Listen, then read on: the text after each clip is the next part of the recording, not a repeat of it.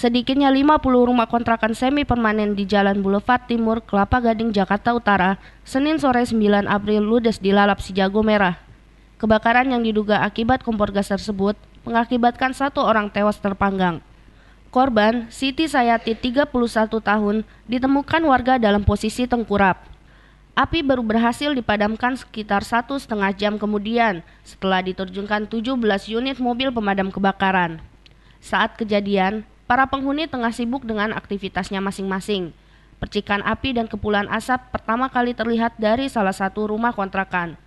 Tiupan angin yang kencang membuat api dalam sekejap merambat ke sejumlah kontrakan yang berada di sebelahnya.